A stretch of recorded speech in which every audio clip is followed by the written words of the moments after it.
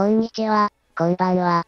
2022年11月18日に発売されました。ポケットモンスター、バイオレットを開封していきたいと思います。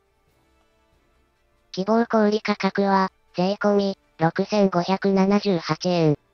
家電量販店予約価格は、税込、5800円。パッケージの表紙はこんな感じです。ポケットモンスターシリーズ完全新作の9作目。オープンワールドを採用しており、自由に駆け巡ることのできるフィールドで、ストーリーに決められた順序のない新たな冒険スタイルを体験できる。このソフトは全年齢対象となっています。早期購入特典のプロモカード、ピカチュウです。パッケージ版のみの特典でダウンロード版は対象外のようです。上新の早期購入特典はジグソーパズルでした。パッケージ版のみの特典でダウンロード版は対象外のようです。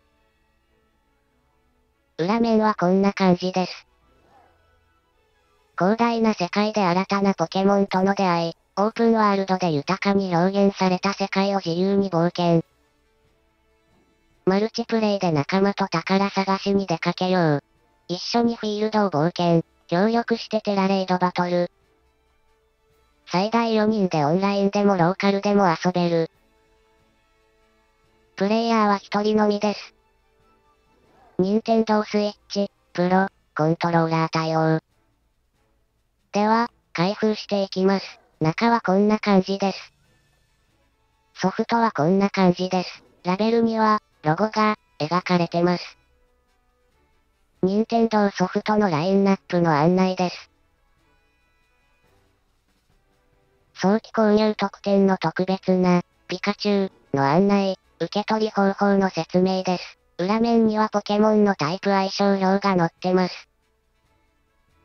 パッケージの内側は、こんな感じです。ポケモン図鑑のイラストかな？リバーシブルで使用できるようになっていますね。こちらが、パッケージの外側になっていた分ですね。実況動画でプレイしていきますので、興味のある方は見てみてください。ご視聴ありがとうございました。